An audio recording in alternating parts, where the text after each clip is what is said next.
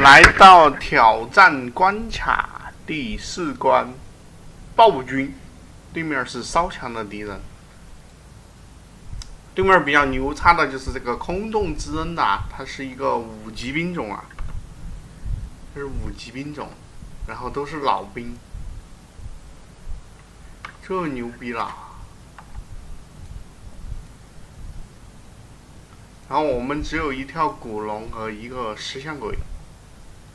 我们的主角暴君啊，他是法系的英雄，你看他的魔法强度三十，然后秘法知识七十，魔法点六十，作战力、战斗力加成是零，明显是一个法法术性的英雄啊。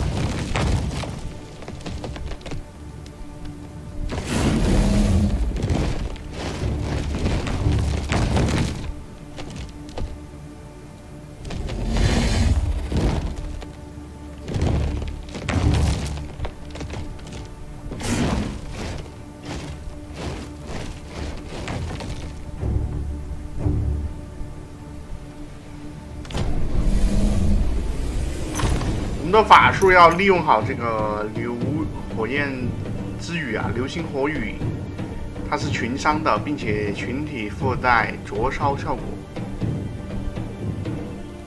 还有一个法术是黑暗系的这个流行病，群体群体有，就放出去的时候就有就有毒毒的伤害，然后还有群体瘟疫的效果。利用这个石像鬼啊，去当靶子，然后把这个怪聚到一起，聚到一堆，然后利用我们刚才的那个那两个法术来来打击敌人。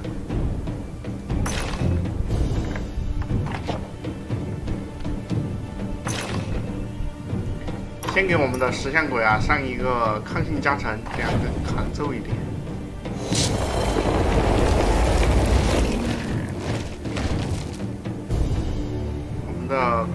先踢一下，石像鬼走过来巨怪。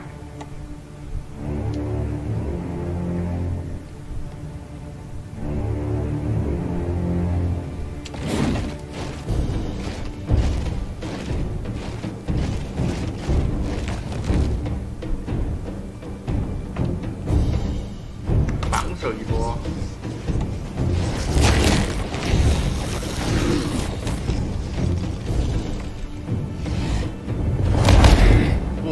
敲晕了！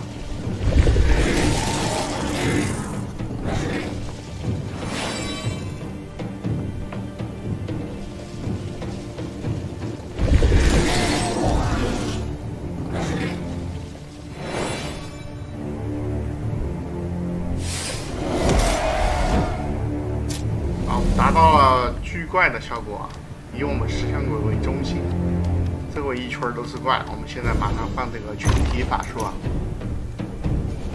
先给他来一个这个瘟疫，瘟疫的话，它会附加一个单位一伤加加三十。先给他丢这个，对着我们的这个圆心啊，就是我们石像鬼的位置丢。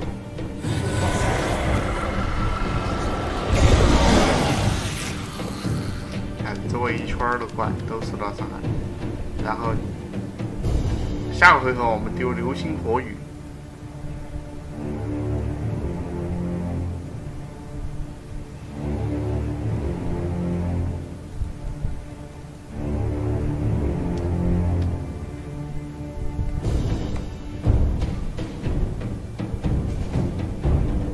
哎，我们的古龙可以在这中间来喷一个，古龙有一个喷酸雨。来喷一发，喷一发，这多爽啊！